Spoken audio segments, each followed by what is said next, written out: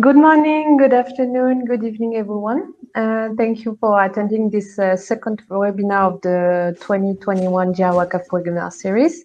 Um, today's webinar is dedicated to the uh, to oil spill preparedness and response, and the total duration will be about one hour. So while all participants are uh, joining, uh, let me provide you with some technical details uh, regarding this webinar. Uh, first of all, the chat. So you can access a chat box uh, where you can ask questions that we'll try to, to answer at, by the end of the, the webinar during a dedicated Q&A session. Um, you also have the possibility to download uh, presentations and, and documents that would be made available uh, at the end of each presentation. It's uh, above uh, the section where you can type your message in the chat if you have um, any technical issues, for example, connection internet problems, uh, you can reconnect by clicking on the red button on the top of your screen. And finally, all webinars uh, organized by GI WACAF are available in replay on our website. Um, now, let me quickly introduce myself and the team. So my name is Chloe Gondo. Um, I'm very pleased to be uh, facilitating this webinar today. Um, I am GI WACAF project coordinator and I have with me um, today Stéphane Grenon, who is uh, managing director at Triox Environmental Emergencies and he will uh, give two presentations today. Hi, Stéphane. Hello. Um, we also have my colleague Emily Canova, who is GI WACAF project manager. Uh, she's in the control room right now, and she's here to flag your, your questions and uh, help you with any potential technical issues you may have. Um, so let me start with a quick presentation on uh, uh, the GI WACAF project. So after a first series of uh, webinars organized uh, last year, on the main principles and general framework of oil spill preparedness and response, of which you can find all the videos in, in replay on our website. Um, this second series will focus on slightly more specific and technical subjects. For the, those of you who did not attend uh, the first webinar series and uh, may not be uh, very familiar with the GI WACAF, uh, will give you a very brief introduction to the to the project before introducing the the webinar. Um, so uh, the GI WACAF project, sorry, was launched in uh, 2006 in the framework of the Global Initiative. Uh, the Global Initiative was a uh, joint uh, endeavor between uh, IMO, the International Maritime Organization, uh, which is the United Nations specialized agency responsible for navigation safety and the protection of the marine environment, and IPIECA, uh, which is the Oil and Gas Industry Association for improving social and uh, environmental performance. The, the, the aim of the GI WACAF project is really to promote cooperation between governments and industry in the spirit of the OPRC uh, 90 convention, which stands for the International Convention on Oil uh, Pollution Preparedness Response and Cooperation. Uh, it is really a convention that is key for oil spill preparedness and response, and you might have heard of it already if you attended webinars two and three last year. Um, the objective of the of the project is to enhance the capacity of 22 partners countries in Africa, which you can see on the on the the map um, on the screen. Um, for for these countries to prepare for and respond to oil spills, uh, so that they can better protect their marine and coastal environment and communities. Um, to do so, we organize several types of uh, activities, namely uh, national or sub-regional workshops, trainings, uh, exercises, uh, biennial conferences, and also technical assistance activities. Um, here you can see in a nutshell what GI WACAF uh, does and how it works. Um, reading clockwise and, and starting from, from the top in the in the green box. Uh, the GI WACAF project is a joint endeavor of the public and private sectors to manage all oil spill risk and mitigate associated impacts. Um, it supports 22 African partners countries in the development and implementation of sub-regional and national spill preparedness and response systems.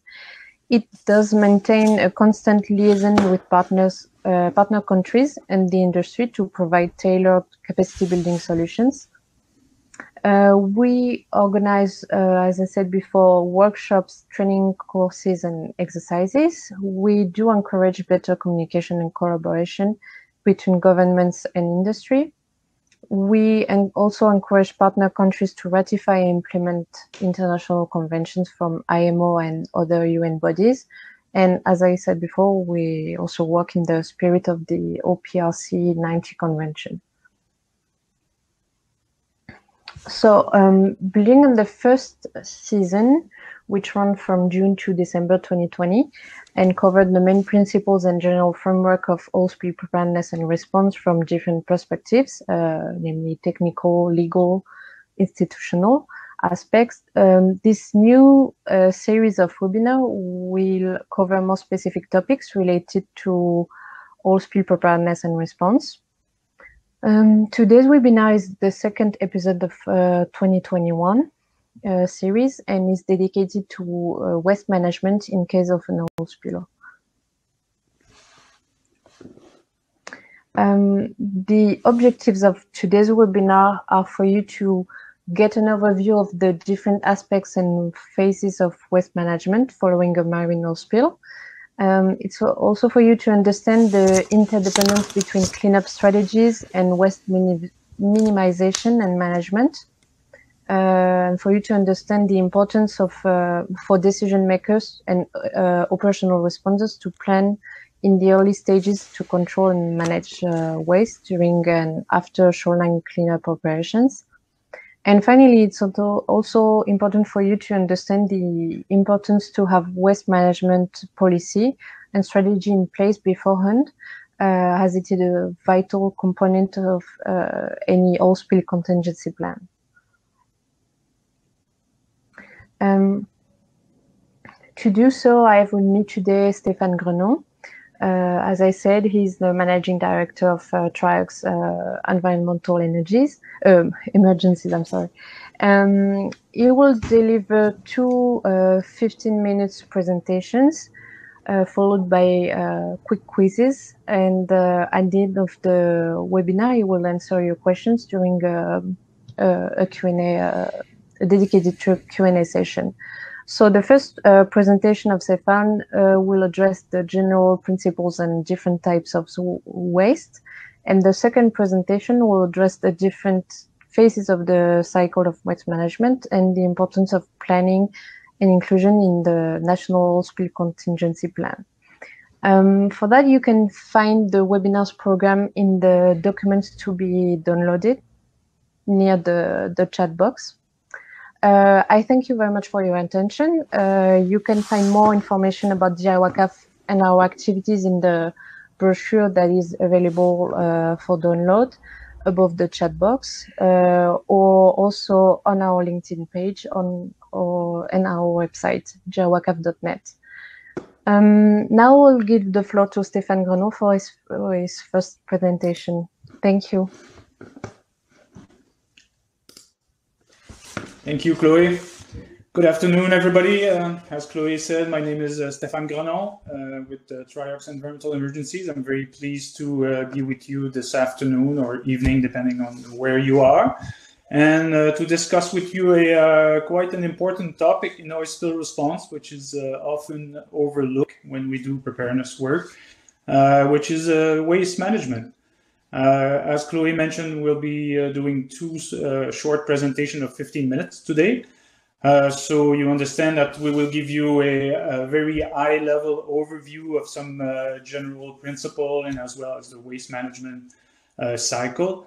Uh, but I hope to share with you some of the key aspects of waste, man- waste, uh, management that can help you if uh, you have to face a, a, spill, which I hope you will not uh, need to, to implement.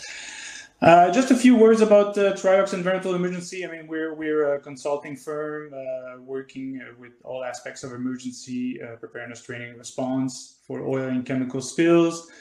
Um, you have our webpage and our LinkedIn page there if you want to learn more. As for myself, uh, I've been working in this field for about 25 years now, uh, working on uh, responses and many preparedness projects.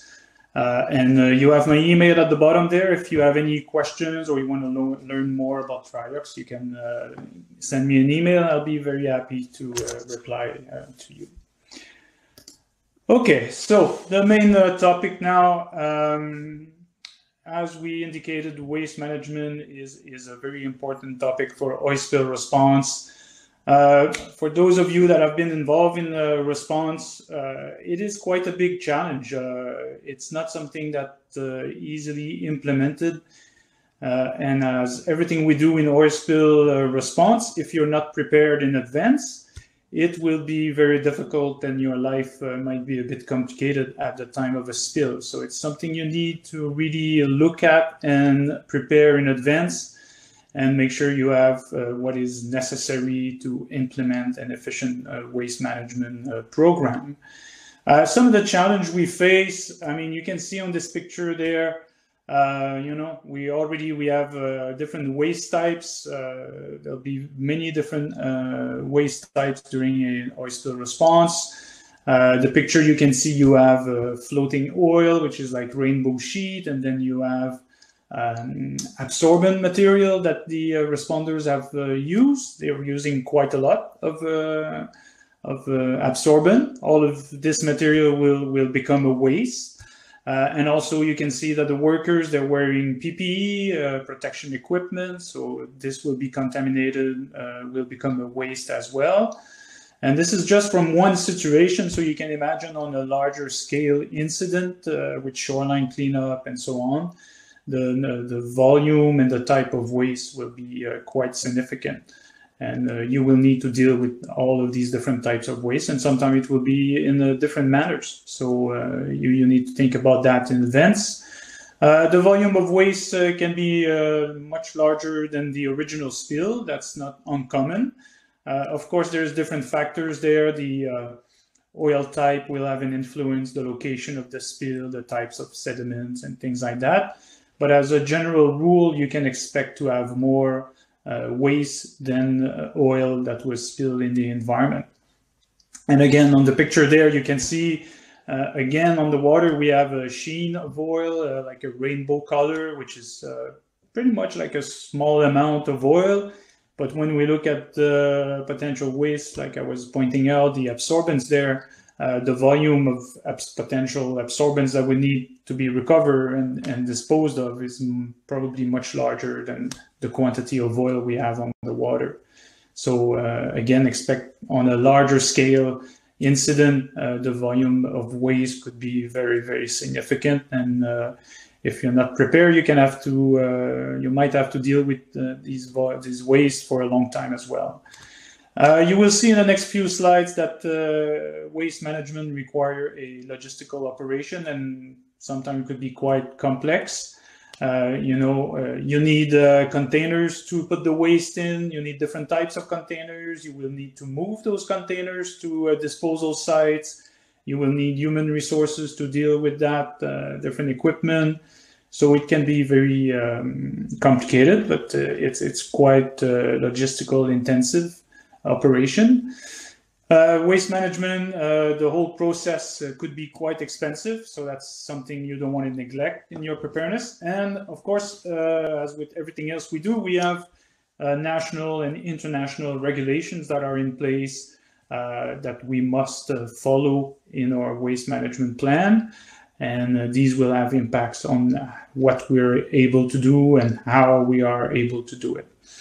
So really, just from this uh, short list of uh, there's other challenges with waste management, but just with this uh, short list, you can see that if we're not looking at all these aspects before a spill happen, uh, we we might have a bit of a problem there, and things will be complicated. If there's a one key message today that you have to remember, it's it's this one really like waste management. Sometimes people are very preoccupied and they move in and they respond and they deploy equipment, they recover oil, and then they think about waste management uh, later in the response. Well, you need to uh, include waste management and think about it right at the beginning of an incident because if you have any problems with your waste management cycle, uh, you might have to uh, stop the response to re stop recovering oil at sea or on the shoreline because you're not going to have anywhere to put that oil and associated waste that you are recovering. So waste management should be at the forefront of your uh, planning and at the forefront of your decision making at the time of a response. Uh, otherwise, uh, you might, you will probably certainly have a significant issue and you might have to slow down recovery or stop uh, altogether. As I said, uh, very important to consider waste management throughout the response. This is something that needs to be integrated in your incident management structure, whatever you are using. If you are using ICS or any other uh, management structure in your uh, country or organization, uh, you must have a team that will be dedicated to work on uh, waste management, to coordinate the uh, all operations, to look at the getting permits, uh, making sure that everything is working. So you need a team that will work specifically on, on waste management issues.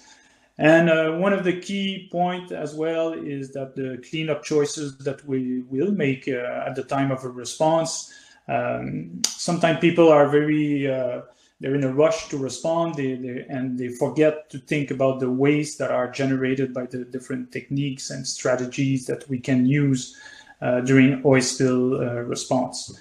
Uh, I'll give you some example later, but the choice of cleanup is, is really a key aspect uh, that you need to consider. So if we start looking at a bit more details about waste management, some of the key uh, factors, obviously the first one, the type of waste.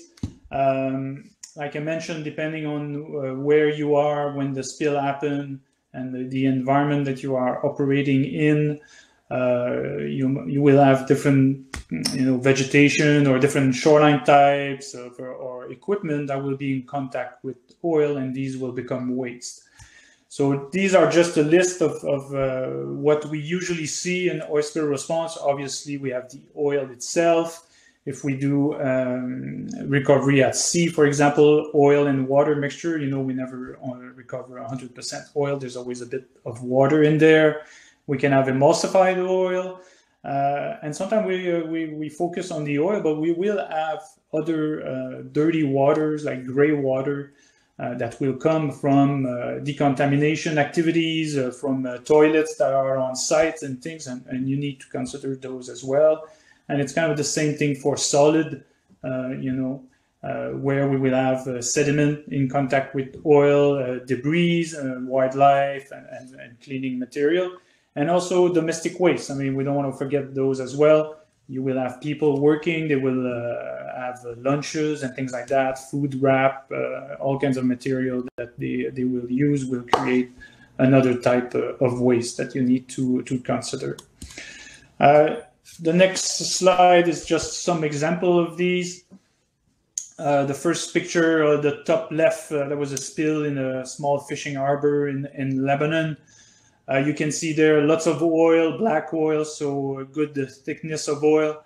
Uh, you can expect to have lots of liquid oil recover depending on if you're using skimmer uh, or other things. But you can see as well that there's a lot of floating debris around, and these will be uh, will need to be recovered. So you will have liquid and solid waste at the same time, and the boom itself is pretty much damaged, and it's probably unlikely that you will be able to clean it so that this will become a waste as well. So a mixture of solid and liquid waste in that case. When you look on the picture, the top right picture, uh, that's a spill in Norway. You can see uh, oil on the water surface with the boom deployed, but recover um, oil and water in that case, not so much debris as it's pretty a clean uh, environment. And then the bottom, we have shoreline contamination, so emulsified oil on a sandy beach. Uh, so you can see you have oil and oily uh, sand. And the other one, we have pretty much liquid pool oil coming from the shoreline. So you can expect liquid, maybe a mix of debris in there, vegetation, and other things like that. And of course, uh, PPE from the, the workers. So different scenarios, different type of waste. One of the type of waste that uh, can be quite significant as well is all the response uh, equipment, absorbent booms, uh, and so on, and PPE. So the top left is more like absorbent, uh, and the bottom right is more PPE used by worker and so on. So Tyvek suits, glove, boots, whatever, will generate waste.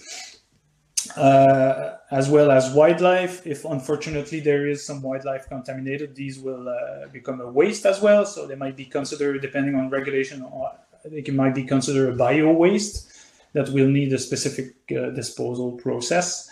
And of course, shoreline cleanup where we have vegetation and oil and so on.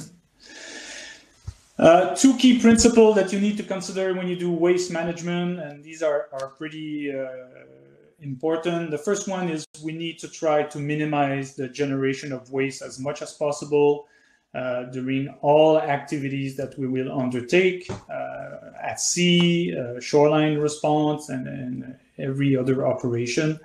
And you have to remember that everything will that will touch oil will become hazardous waste in most locations in the world uh, per regulation. So even one drop of oil, it's a it's a hazardous waste, and it needs to be disposed in a proper manner. The other one is you need to segregate your waste. Uh, we've seen different types of waste. Uh, your uh, waste recovery operation need to separate all the waste as this will be uh, this will facilitate the final disposal or reuse of the waste.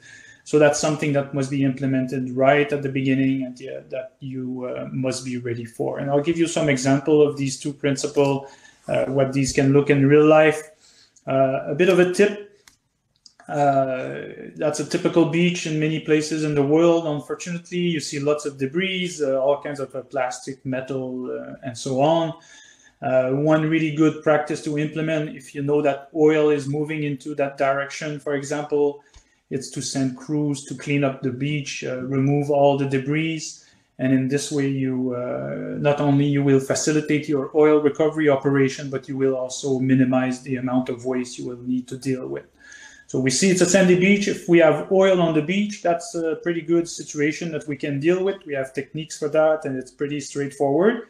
If we have oil mixed with plastic bottles and so on, it's a bit more complicated and requires more logistical uh, support and things like that. So we remove everything that might be on the beach, pirogues, uh, you know, if we have restaurants, tables and chairs and all that stuff, uh, try to remove whatever's on the beach before to minimize contact with oil and minimize the amount of waste. Another practice is to select the um, cleanup techniques. Uh, we want to select the techniques that will generate less waste as much as possible, depending on what you have and the circumstances of the, of the spill. But here's a, a, a simple example. Uh, on the left side, we have a drum skimmer, which is specifically designed to collect the layer of oil that is floating on top of the water. Uh, it's always collecting a bit of water, but this one is designed specifically to focus on the oil. So in a setup like that, where we have quite a, a good amount of oil floating on the surface, uh, we can be pretty confident that we will uh, recover a lot of oil and a bit of water. Um, so this will minimize the volume of uh, oily water we have to deal with. And when we look on the uh, right side, uh, the picture there, we have someone operating a vacuum system. Uh, we can see on the picture not much oil, but I don't know if you see well on your screen, but uh, you would see that the uh, the person is actually recovering a lot of water and a little bit of oil.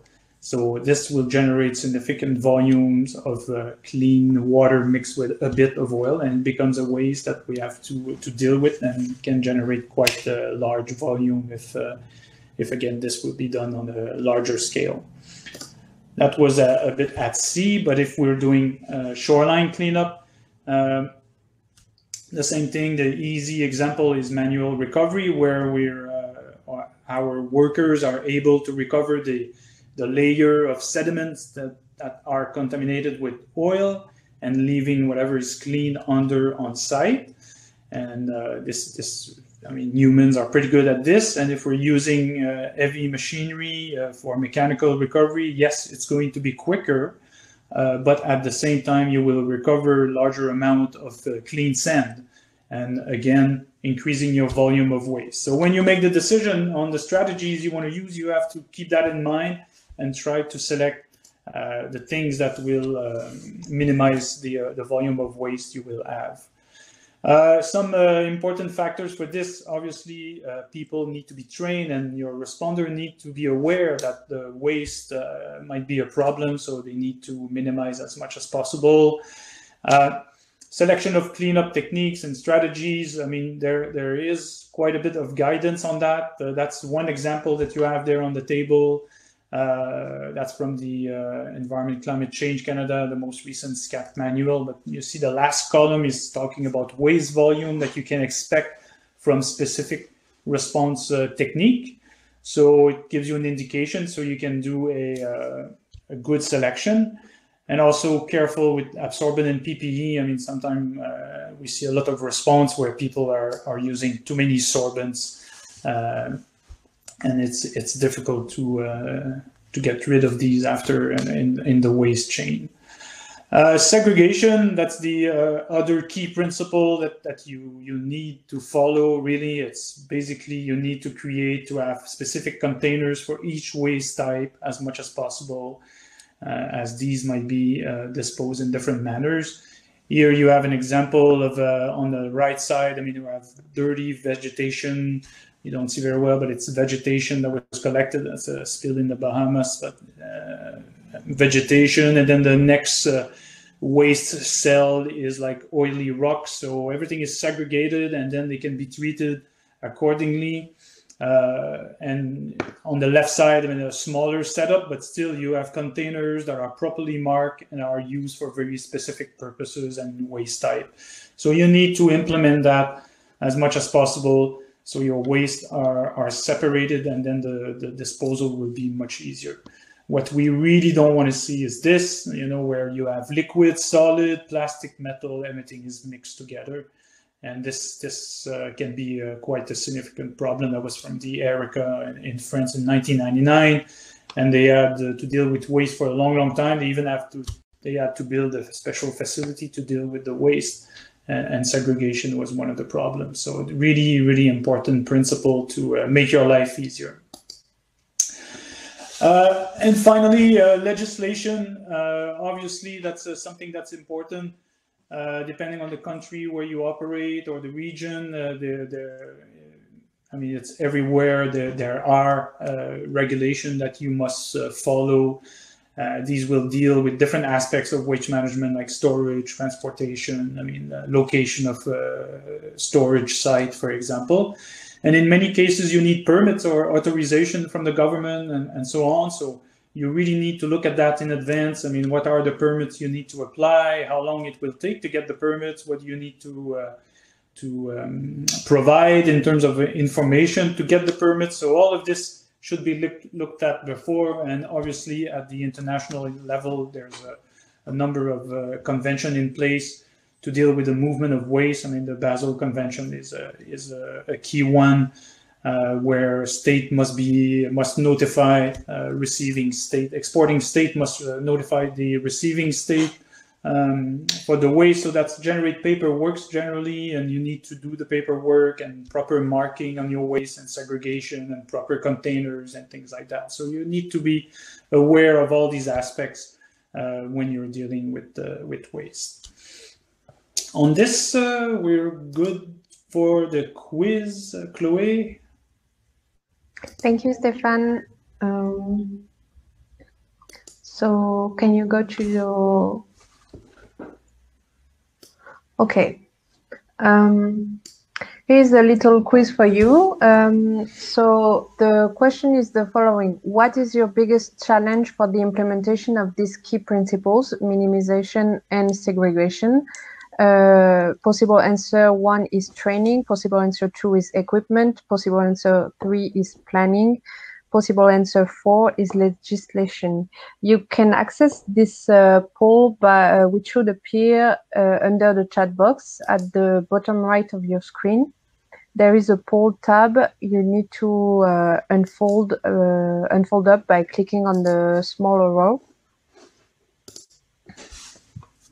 So I'll give you a bit of uh, time to answer the quiz.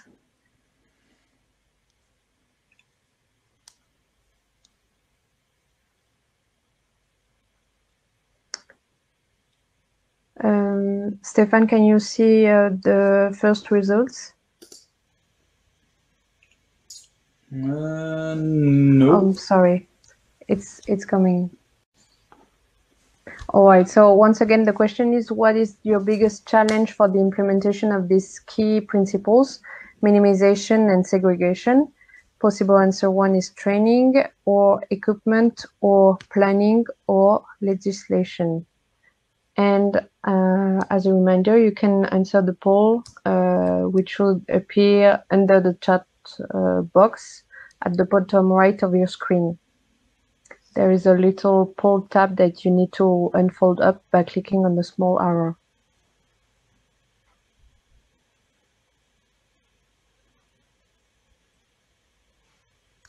All right, so it's it doesn't seem to be working right now because I see uh, answers in the in the in the chat, but not in the in the in the poll. Um, Stéphane, do you can you go to the chat? Uh, yes. it's difficult because I see well I see planning, I see legislation. Planning, training, legislation. Yeah, I mean, all, all of these uh, elements. Uh, I don't see you know, how many people are answering, but but there are certain, certainly uh, key factors for for implementing a proper waste management. Uh, often, uh, people are the training aspect is really important. Uh, many of the uh, people responsible for operation, uh, for oil recovery operation and things like that are, are, are sometimes not aware of the uh, importance of trying to minimize and to segregate as much as possible. So it's a, it's kind of a, you know, depending on where you are, but these are, are, are key aspects, uh, definitely. Okay, thank you, Stéphane. Now, now it's working. So let's move on to the second quiz. Um, okay, so you have a situation here. So what is your advice? Uh, answer A, either you remove everything from the shore and store it in a single container, or answer B, you collect all debris and try to separate material into categories such as oily wood vegetation, other oily material, non-oiled material. Okay, I can see that um, most of you can access the, the yeah. poll right now, so I'll give you a bit of time. So it looks like the question is uh, obvious for everybody. Uh, this is a so typical shoreline that we see in uh, many places around the world. That's a picture from uh, Ivory Coast. So you see you have a stretch uh, where you have all the debris. Under that, there's a sandy uh, sandbar. I mean, it's a sandbar. And we're in the middle of a mangrove area. So that's, that's very common.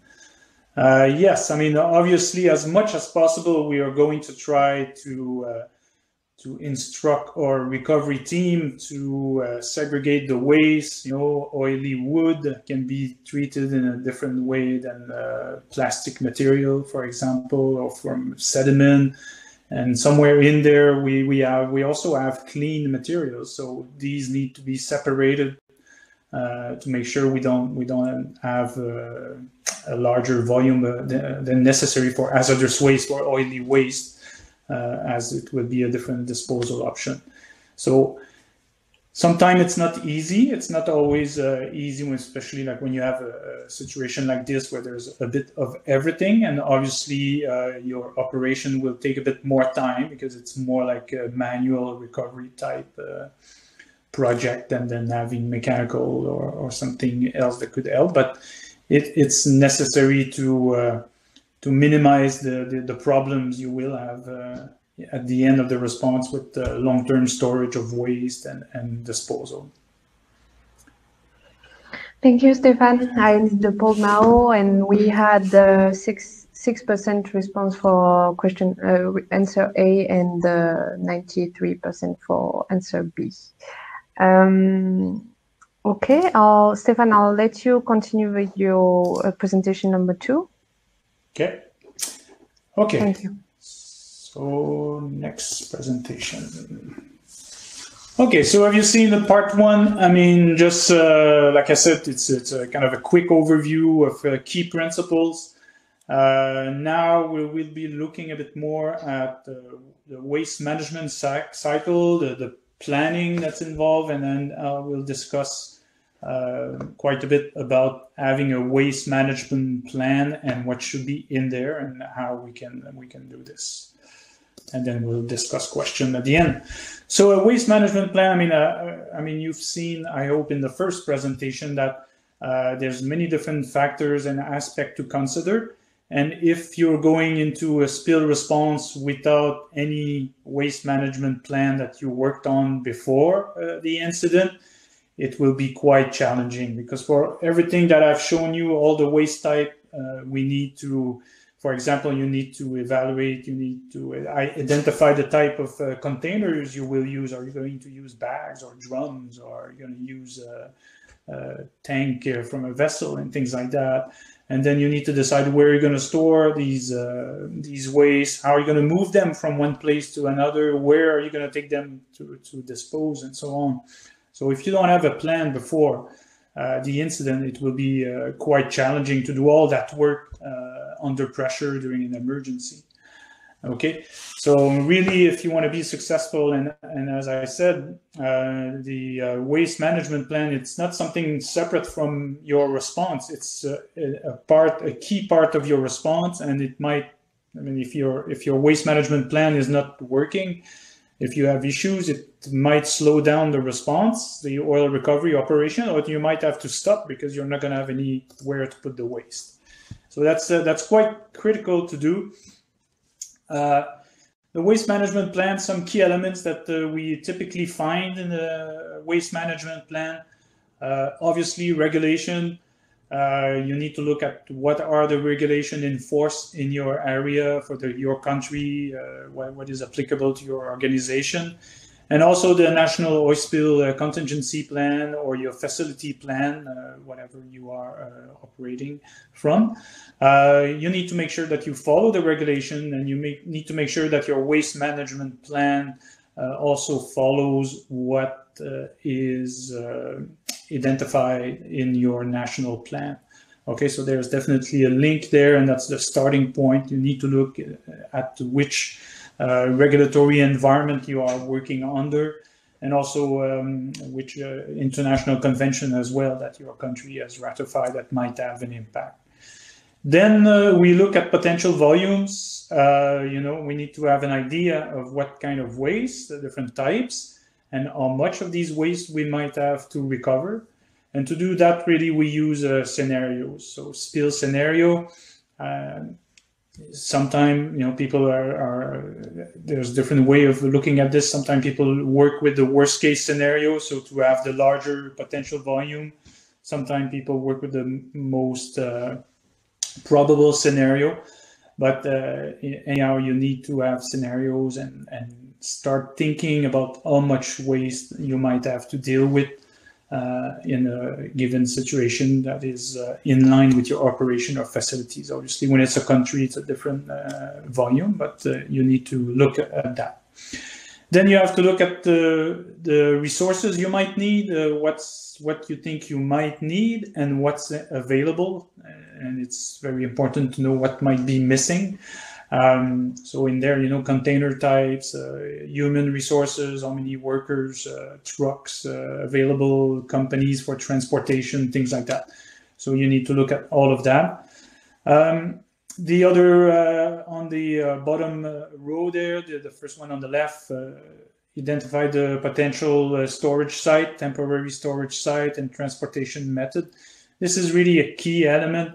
Uh, I'll show you the next slide. We will we'll talk about that, but you will recover mat material uh, during your response operation, uh, either from response at sea or on the shoreline. You will need to store this material uh, before you can dispose of it. So you, you will have a location near the working sites where you will need to store uh, waste and then you will need to move them to, if you're lucky, you can go straight from the shore to the uh, final disposal site or you will have intermediary uh, storage that will need to be implemented, but I'll come back on that. But you need to work on that. So where uh, can you uh, establish those, those storage sites? uh, during the response is really a key element and try to get the permission and so on uh, before and is also a key thing. Uh, final disposal, uh, what are your options in the country where you operate? Uh, are you going to be able to deal with all the waste type or for some types you will need to export them to another country and things like that. So you need to work on that and cost, how much it's going to cost you to deal to implement your waste management plan, what type of uh, financial resources uh, you will need. I'm not going to go into the details of this one, but this is pretty much a, a step-by-step uh, waste management development uh, program that you could follow. Uh, the first step is really to put a team together, look at legislation, uh, you know, and, and look at existing plan that might be uh, available in country or for your facility. So collecting information. Then the second step is really drafting a, a waste management plan, which will be kind of a generic plan at this point. You know, you need to look at container facilities, uh, storage facilities, uh, all the health and safety reporting and tracking is a very important aspect of waste. You need to be able to track all the shipment of waste and where where they're going, where how much there is, and so on. So really, like in step two, you're building your plan, uh, your waste management plan. Then step three, you have a plan, but now you need to train people. You need to execute the plan. You need to uh, maintain it. So training is a big component uh, for a waste management plan. Uh, you need to train your responders so they are aware, they, they know what to do. And uh, really, one of the best thing to do as well is to do exercises where you will exercise the uh, waste management function, and you will learn, and then you can implement corrections to your plan, make changes, uh, making sure that uh, everything is is working smoothly. And then, if you're unlucky and you have a spill, then you already have your generic waste management plan that you can take and then you can customize it you can adapt it to this situation you are facing and this becomes your incident waste management plan so just uh, uh, when when you already have a, a generic plan that's uh, all developed it's it's very easy to use that plan and, and to establish an incident specific plan with all the uh, aspects, the different aspects is already identified and everything is has been worked out with regulators often in advance. So now it's just implementation and following what you have in your plan. Some key elements, uh, as I mentioned, the, the storage component is a key thing. I mean, the yellow circle on the shoreline, you will have recovery sites uh, either at sea uh, or on the shoreline.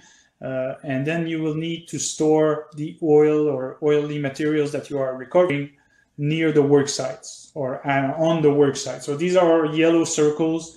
These are where the cleanup operations are taking place. That is where we're, we're doing temporary storage.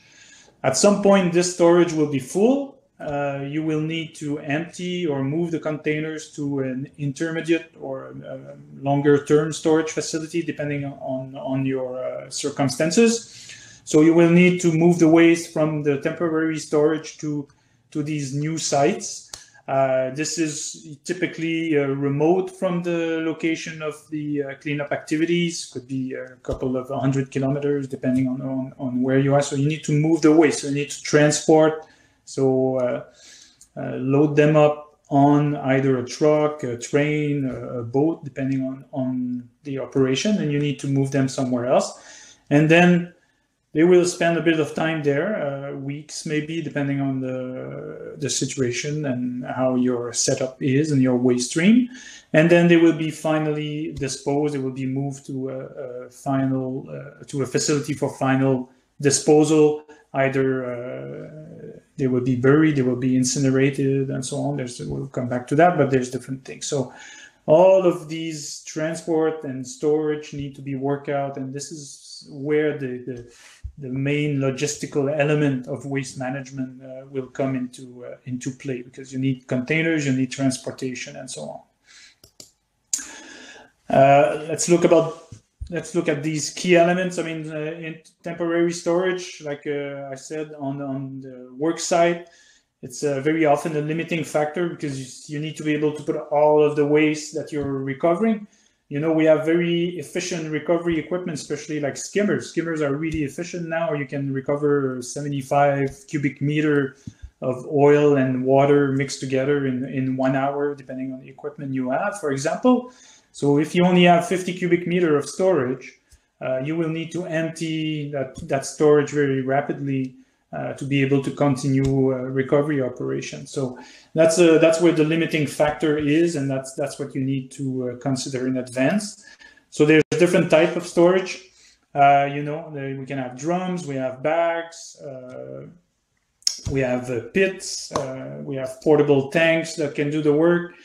And typically, what we are looking for in terms of a store proper storage site uh, it's somewhere where we we uh, we have access, where it's a flat surface and that's protected from the environment, like uh, you know, uh, from the, mainly from the waves and tides. I mean, we don't want it to be too close. And the next tide, we have our containers that are, uh, you know, uh, surrounded by water, and then they can spill again, and so on. And obviously, we'll try to avoid sensitive areas as much as possible. that's the ideal one. Sometimes it's not always ideal. These are two examples. Uh, one in Lebanon here, you see the temporary storage, the bags uh, with all the waste that's recovered. The beach is just a few meters uh, in front of that site. Uh, so directly in on the beach in the upper part, so everything is protected from waves and tides. And waste are left there for, for a while, and then they, they will be collected and transported to intermediate uh, storage. On the right side, we have a pit. This one is pretty close to the water. Uh, that's something to consider. You know, if there's a big wave or something, or if there's a heavy rain, uh, the pit could overflow and things like that, and then the oil goes back in the environment. So you really need to uh, to pick your sites uh, very well to avoid uh, another contamination. You know, once you recover. Uh, at sea, I mean, it could be on vessel tanks. Uh, we have floating tanks as well, different barges uh, for temporary storage. Uh, obviously, these will need to uh, go to a port with reception facility and they will need to be emptied. Uh, Sometimes, like I said, they can be very efficient, recovering a lot of oil and water, but then they have to go back to a port where they're slow or they will need to be offloaded offshore uh, to be able to continue pumping oil at sea. So you need to uh, consider that as well. Uh, once they are in temporary storage, the waste will need to be moved either to another storage facility or to final disposal. So what we're going to try when we identify the containers uh, where in which we're going to store the waste, we're going to try to have containers that will be easy to move after. Because remember, if they're too big, too heavy, you will need to lift them and load them onto uh, a mean of transportation, could be a truck or a boat or something. Uh, so you need to think about that. People need to be able to lift and move those uh, those uh, wastes. Uh, and we're going to try to pick a container that uh, can where we can keep the waste in in that container as long as possible. That we don't need to transfer from one container to the other. It's just uh, making our life a bit more complicated and tracking of waste and marking following regulation. These are just examples. Uh, obviously, by sea, if you're operating in remote location, maybe the only access is by water, so you need boats to be able to carry waste or trucks here. And you see here we need to lift the bags onto the truck for transportation. So you need to think about that. You know, if you don't have a crane available, if you don't have uh, the proper truck, you need to use other containers. And in some cases, the only thing we can do is use a helicopter. It's a bit blurry there, but that helicopter is uh, transporting uh, one cubic meter of oil, uh, small boxes, uh, removing them from a ship. And it was the only thing to do at that place. I was in Alaska, a very remote location. So all that need to be included in your in your plan. Uh, I'll go straight to this thing. Uh, final disposal and disposal. There's lots of possibilities that might be available. I mean, depending on the country where you operate, uh, these might be limited. In other places, all of these techniques uh, might be uh, available. This is a, a, a, uh, diagram that's coming from an IPIECA guide on waste management. Uh, I can give you the reference after, but uh, there is many ways of disposing of waste, oily waste. I'm not going to get into all the details, but something that is interesting is the column on the left, left the pre-treatment uh, there is many things we can do to minimize waste, even once they are in uh, storage. Uh, and a good example is decantation, where we will, you know, oil will float on the water. If we recover a lot of oil mixed with water, the oil will float in the container on top of the water in the container, and then we can easily pump the water uh, out of the container, which will give us more storage and give us concentrated oil that we can uh, maybe use for incineration in, in some industries or even go back to an oil refinery to, uh, to create oil. So all of this is there. And um, that's it. So in conclusion, uh, that's a high level overview, but waste management, I mean, obviously, if you're not prepared, might have a very severe impact on your response effectiveness. Uh, align your waste management plan with the local regulation and your national oil spill or facility oil spill plan. Uh, include a specific team in waste management uh, dealing with waste management in your uh, incident management structure. And the key principle minimize and segregate uh, as much as possible. Thank you very much. Thank you, Stéphane. Um, let's have a new quiz. Um, so let me read this this new question. Uh, does your country or organization have a waste management plan? Yes or no? Uh, please give us a bit of time to launch the the, the poll. Here it is. Uh, so you can now answer the poll, uh, which should appear under the chat box uh, at the bottom right of your screen. You need to unfold up the, the poll tab by clicking on the small arrow. I can see that uh, most of you are responding. So once again, the question is, does your country or organization have a waste management plan? Yes or no? While the some of you are still responding, uh, Stéphane, do you mind do you mind commenting on this question? Uh, yes, I think that's uh, that's a good news. I can see that most people have a, a waste management plan, which is the the good practice to do. Uh, it would be interesting to know if this plan uh, has been exercised and if people are trained. But uh, but that's that's a, a, good practice that uh, people should should have and implement in their facility or country. So no, that's that's good. All right, thank you. We'll end this uh, uh, third poll here and we'll move on to the last question, which is a situation. So the question is uh, the following, what's wrong here uh, regarding the, the, the, image on the screen? So answer A, it's a wrong container. Answer B, it's too much material in the bags Answer C, it's no, there's no ground protection, or answer D, all of the above. So here you go. Uh, you can access the poll now. Okay. Uh, while you are all um, answering, let me remind you that uh, you have the possibility to download Stéphane's both presentations in the in the download section uh, near the chat box. Uh, you also have access to different uh, documents, guidance documents that uh, were put together by um, CEDRE, uh, which is a French uh, institute, also ITOP, uh, IPIECA, and POSO, uh, which are all English versions. And uh, you will have the possibility to view this webinar in replay starting tomorrow on our YouTube channel or on our website.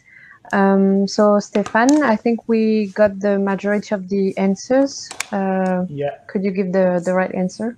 Yeah, it's still overwhelming. I mean, it's pretty obvious, this one as well. Uh, it's, it's, pretty much all of the above, right? I mean, everything is wrong here.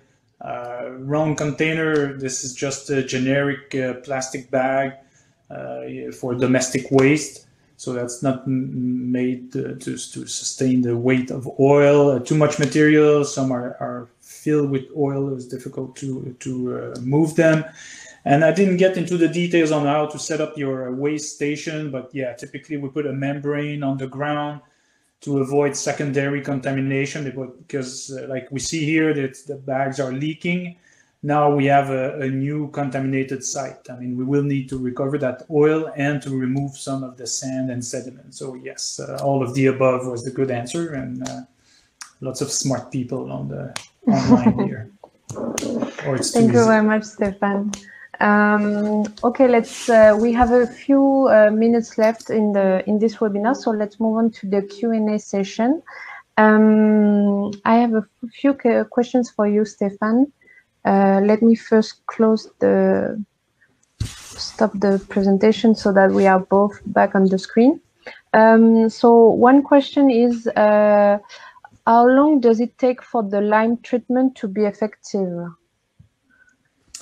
Well, the, the lime treatment uh, is a treatment where you can mix uh, oil or oily material. I mean, it's not going to be used on pure oil. It's usually like uh, uh oily sand and things like that, uh, where you mix them with uh, calcium carbonate and it will stabilize the oil into the sand matrix. so you don't have the leaking oil anymore.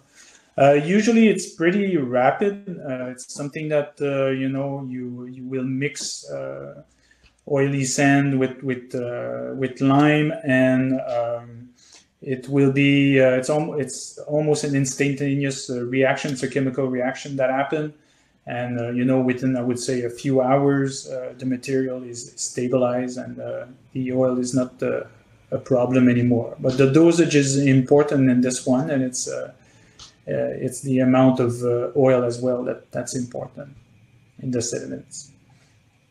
Thank you. Um, I have a couple of other questions. Uh, another one is how can all companies participate in uh, waste management? Well, it, it, oil companies will have, uh, I mean, they will have their plans, and usually, including in, in their plans, they will have waste management plan, and they can provide uh, maybe support to national authorities in terms of uh, technical advice and they can logistical support as well identifying you know there's lots of uh, elements that needs to come together like the, you need the container you need a company to, to move those containers and so on and that's probably a support that uh, your colleagues from oil companies can provide as well as planning support. But uh, i would encourage you to make, get in touch with uh, the uh, your colleagues from oil companies in, in your country and, and have that discussion you know in case of uh, an incident. And so at least you know in advance what uh, what can be expected um, all right uh, then i have a question that just popped up uh, how do you test the the efficiency of a national plan I believe it's uh, Waste Management National Plan. Uh, yeah, well, there, there's tools available. I mean, there's two ways of testing your plan. There's uh, there's tools to make sure that guidance to make sure that all elements of uh, of your contingency plan or your waste management plan are included in your actual plan to make sure that you that you have a complete plan and you didn't forget any elements. And then the other way of testing, really the best way is, is to carry out exercises uh, and to test the implementation of that plan. Uh, you know, again, the chain, the waste stream, uh, getting in touch uh, with, with people, finding location and so on to test the different uh, elements you have in your plan and once you do an exercise, and it doesn't have to be a large scale, uh, really complicated exercise, you can test different components, right, uh, with small uh, exercises. But you will learn a lot and you'll know what, what's working and uh, what's not working, and you'll be able to make the changes. Thank you. I have a very last question uh, before we need to end this webinar. In case of an incident, do you need to uh, get an export permit for the disposal of waste in another in another country? Uh, yeah, depending on the country where you are, if they, they if they sign the Basel Convention prevents the, the illegal export of, of uh, waste in other countries. So uh, you will have to deal with the national authorities and uh, ask them for the proper permit. Uh, they, it's the national authorities that are in charge of the uh, implementation of the conventions like that. Usually, it's translated into national regulation, and you know if you need an export permit, then there is a process for that, and there will be uh, in, uh, information as well about the type of marking that needs to be on the container and the type of containers and things like that. So that's uh, that's usually the process.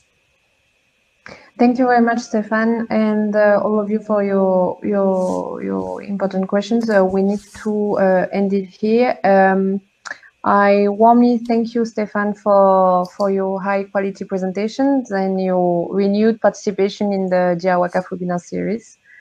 Um, I also thank my colleague Emily who worked with us uh, on the organization of this uh, online event. And finally, thank you all uh, for attending this webinar and engaging with us. Um, I can already tell you that the next GI WACAF webinar will be held by the end of uh, June, um, and it will be dedicated to the use of dispersants. So please stay tuned uh, to our LinkedIn page and, and, our website for more information. Uh, thank you again for everyone. Uh, to everyone, I, I wish you a nice rest of the day, and I'll see you later. Thank you. Thank you very much. Bye-bye. Bye.